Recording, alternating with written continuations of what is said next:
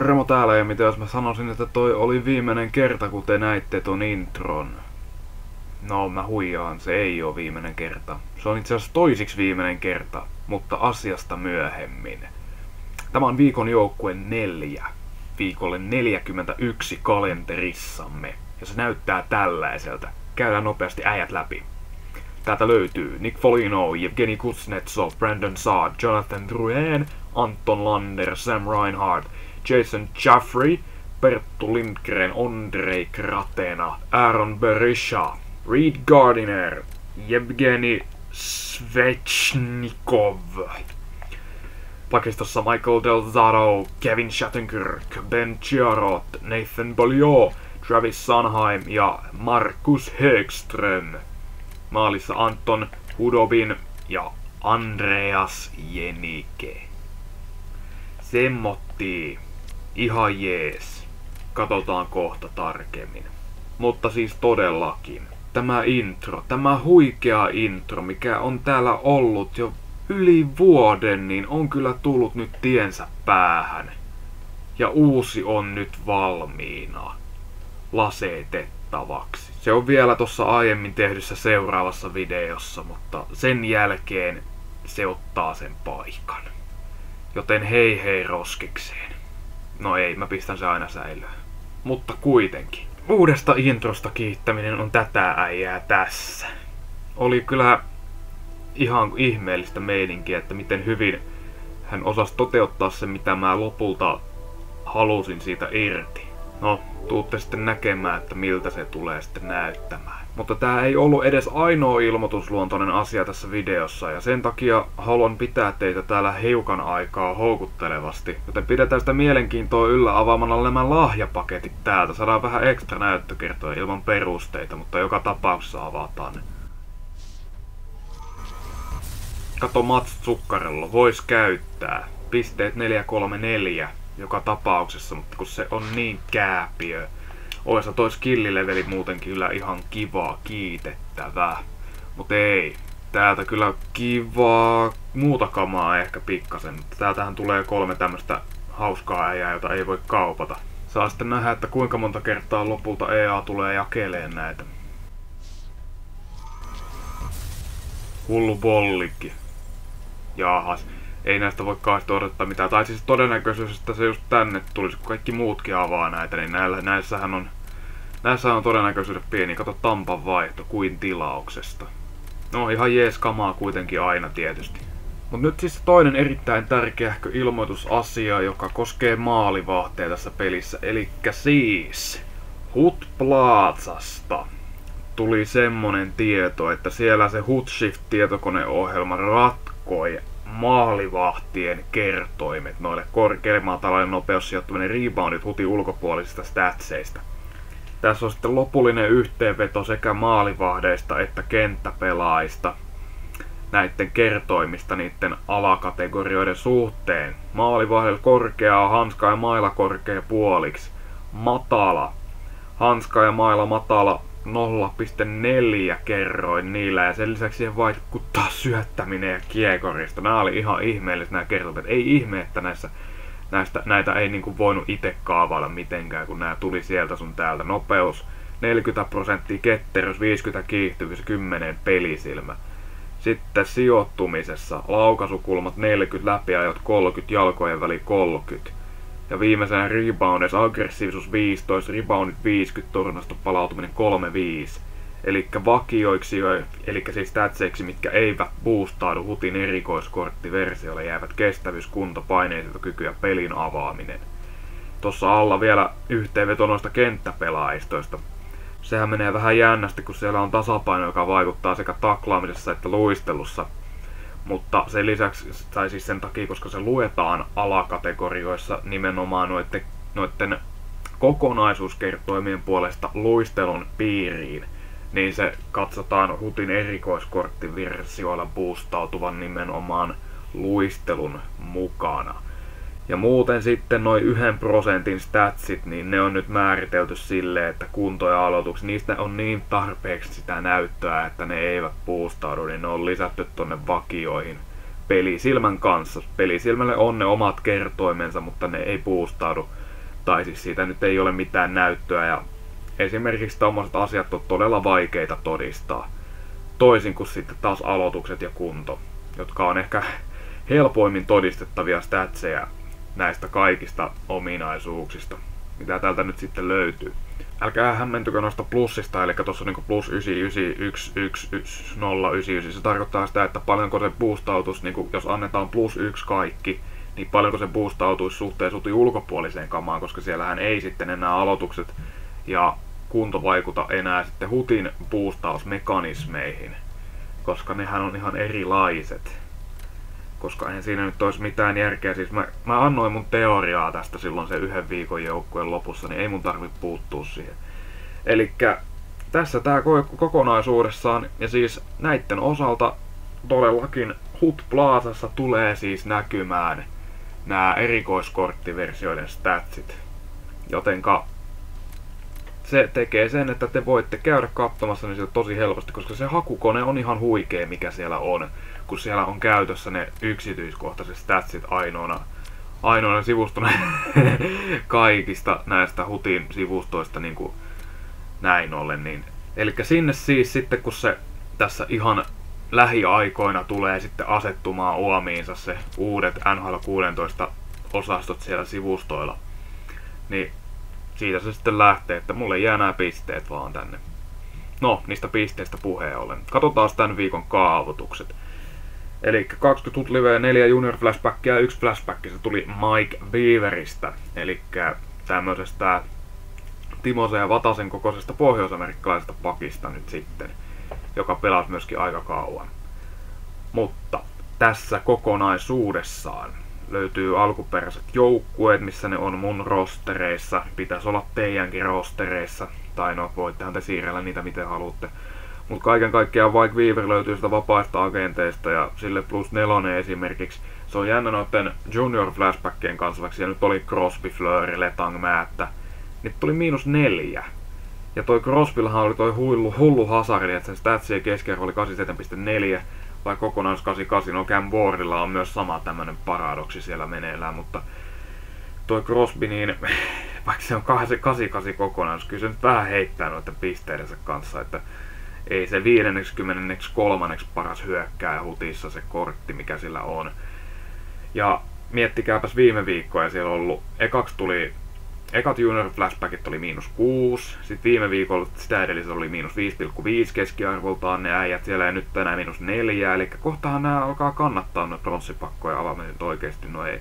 Koska täältä huomataan, että niin kun toihan on toi Crosby ihan ylivoimaisesti paras tähän menne tähän astisista mitään näistä Junior Flashbackista, mitä on tullut, eikä sekään mikään huikea ole. Ja miettikää hintalaatuisuudetta. Hyhy. Sitten nämä Hut Livet, niin tasaasta plus kakkosta siellä, pari plus ykköstä. Ja sitten tuo Jenike.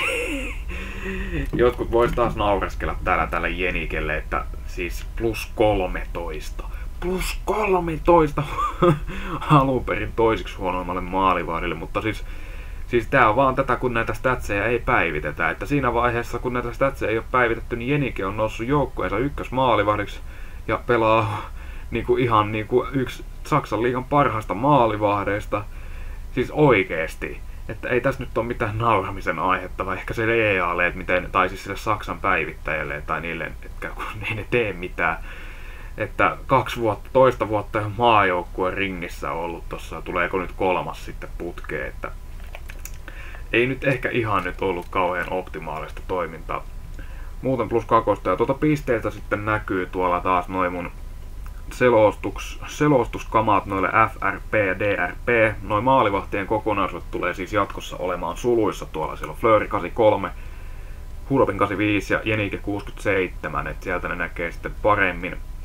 Voisitte tasaisuudet, voitte, voitte katsoa itse sitten ulkopuolella, mutta Jenikellä se on yksi että ei se nyt niin. Ja sitten oikeastihan Jenike on 180 senttinen, mutta se on 173 tällä hutissa. Sitten noin pisteet vielä sen lisäksi tuolla mulla on noin risupuskat eessä, niin huomataan, että Kevin Shattenkirk nousi unelmajoukkueeseen viidenneksi parhaimmilla pisteellä pakeista. Mutta nämä muut ei sitten nyt niin, niin kovin vakuuta. Siellä on Del Zotto 25. paras pakki, mutta sitten nämä hyökkäät, niin siellä on niinku Kuznetsov pääsi siellä 32, et ihan hyvä, ihan hyvä jees. Ja miettikää, että nämä on vähän laatu äijä suhteessa niihin omiin kokonaisuuksiinsa nämä äijät täällä. Ainakin Kuznetsov, niin kuin esimerkiksi, ei ehkä Saadi Folino enää. Mutta ehkä siinä oli mulla ihan tarpeeksi höpöttelyä, että pystytte katsoa sieltä pisteitä muutenkin. Joten hypellään hutin ulkopuolelle ja aletaan sitten ja poistutaan paikalta näin osin, näin osin. Ensimmäisenä siis muun muassa Mike Weaverin räspäkki ja kyllä löytyy täältä aika nopeasti, että se Weaveri, niin eihän se mikään ihmeellinen ollut. 85, 87 nopeus, noin lyhyt. Pisteet alle 430. Ei, kyllä tää on semmoista pikamyyntikamaa aika vahvasti. Muistakaa sitten, kun hypätään nyt suoraan sinne Hudopini, että niiden flashbackien kokonaisuudet oli siis Määttä 79, Letaankin 84, Flöri 83 ja Crosby 90. Hudopin on 85. Pituus taas semmonen erittäin haluttava. Parit Kolumbuksen ajat Saari 89 pisteillä 4421. 38. paras hyökkääjä hutissa tällä hetkellä. Ja sitten tämä Polino täältä vasemman laidan tontilta. Tää on sitten peräti 90, mutta puolustavat statsit on nyt vähän laadukkaammat. Jotenka pisteet on vaan 438.2 kuudenneksi kymmenenneksi paras hyökkääjä hutissa. Että kyllä Saari nyt voitti aika selkeästi tämän kilvan. Lander on aika huono, 8-2, ei siitä se enempää. Nathan Bolio oli ihan semmonen peruslaatu, 85, en kyllä ehkä menisi ihan sitä pikamyyntihintaakaan maksamaan, tästä kuitenkin on siellä nyt ihan semmosia peruspelaajia muutenkin, 4-3-3 pisteet, viidenneksi kymmenenneksi paras pakki tässä pelissä, esimerkiksi kaikki pakit mitä mulla on, niin ne on tätä parempia pisteissä. Michael Del Sotto, niin voisi ajatella, että se on aika laatu, 86, 91 nopeus, no kyllä se nopeuden puolesta on laatu. Kyllä, kyllä se on. Mutta ehkä pieni kokoinen offensiivinen, ja tämä Del Zottonin pisteet 437.4, niin esimerkiksi se on semmoista samaa luokkaa niin kuin Bowmeisterin ja Vlasicin kanssa mun kirjoissa 25. paras pakki, niin en kyllä maksaisi tästä todellakaan pikamyyntihintaa. On se jännä, niin kuin, että vaan siitä top 20 pakeista, mitä tässä pelissä löytyy, niin, ne, niin, niin niistä vaan sitten kannattaa maksaa jotain, niin on se kyllä ihan käsittämätöntä, että se on niin pieni vähemmistö. Miettikää nyt yli 4000 pelaajaa, kenestäkään ei makseta mitään, jos niitä olisi tarpeeksi siellä myynnissä. Siis se on niinku häviävän pieni prosentti. NHL-pelaajista on 15 prosenttia pelin pelaajistosta. Ja sitten siitä ne hyvät pelaajat päältä, niin se niinku karsi sen niinku niin minimaalisiin lukemiin. Okei, tää nyt vähän poikkes aiheesta. Kevin Shatterkin paras pelaaja tässä viikon jenkis 91 löytyy täältä.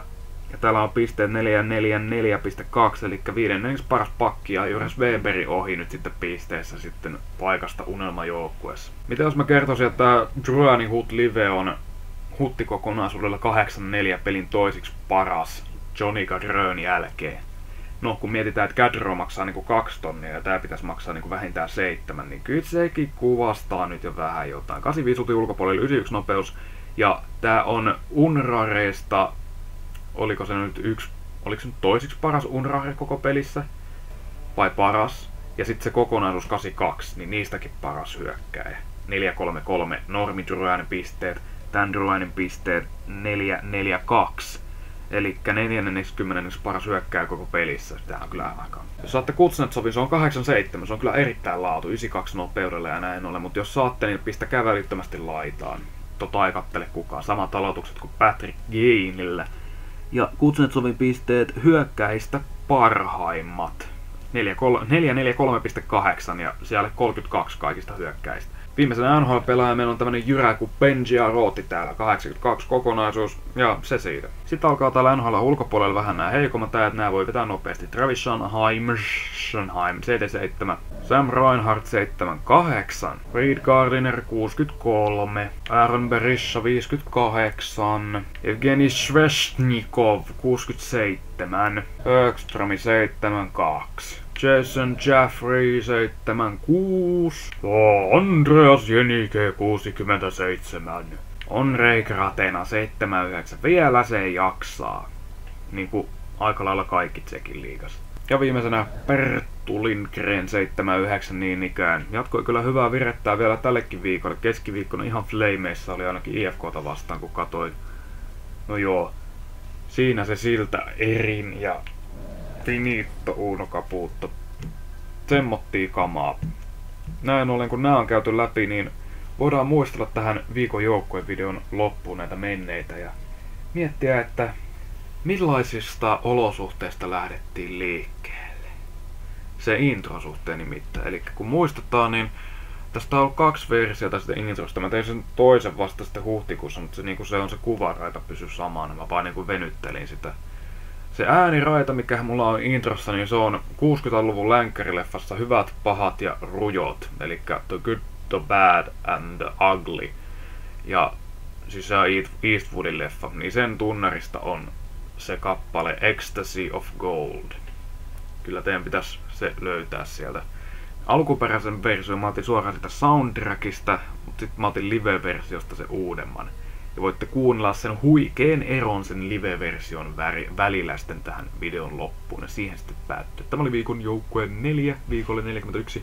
Kiitos näkemiin viikon joukkueessa sitten viikon päästä sitten lisää statsia, statseilyä, miten mä sen sanoisin.